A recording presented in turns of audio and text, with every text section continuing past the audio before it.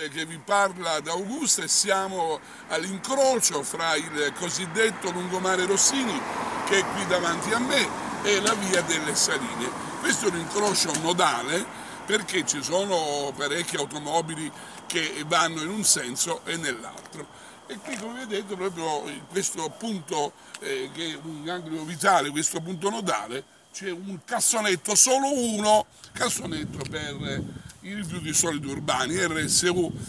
In effetti potrebbe essercene un altro, soprattutto nel periodo eh, delle feste, soprattutto tra sabato e domenica, perché non c'è la raccolta dei rifiuti da parte della ditta Pastorino. Il risultato è questo, voi lo vedete qui, la luce è scarsa, ma insomma si vede quello che succede. E non vi dico la puzza in questo momento stiamo avvertendo sia l'operatore della ripresa sia io. Ma perché c'è tutto questo?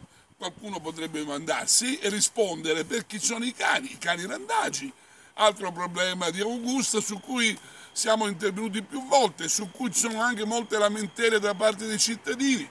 Allora la risposta potrebbe essere semplice, non possiamo sempre criticare le amministrazioni comunali che si avvicendano o la ditta Pastorino, anche se un altro cassonetto qui non farebbe male. Ce ne sono due, uno un po' più avanti, quasi sempre semivuoto, un po' più avanti, e, una, e altri ancora più avanti.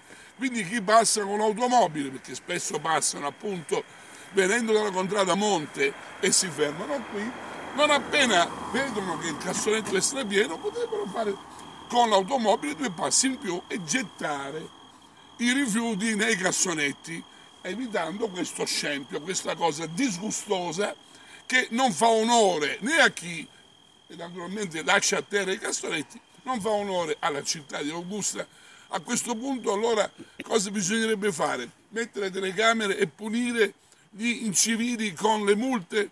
Ecco, non voglio arrivare a questo, però facciamo l'autocritica, facciamo un esame di coscienza, rivolgiamoci, eh, guardandoci allo specchio, a noi stessi, i cani ecco sono lì, dice, lo possiamo inquadrare quel cane per favore?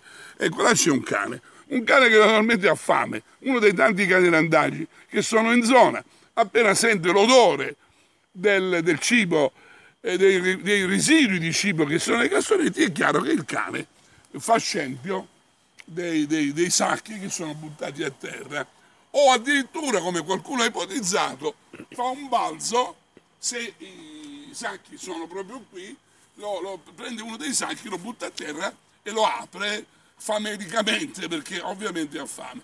Allora ripeto, sono a cassonetti un po' più avanti. Uno di questi, il primo, è quasi sempre semivuoto. Facciamo questo piccolo sforzo, questo sacrificio.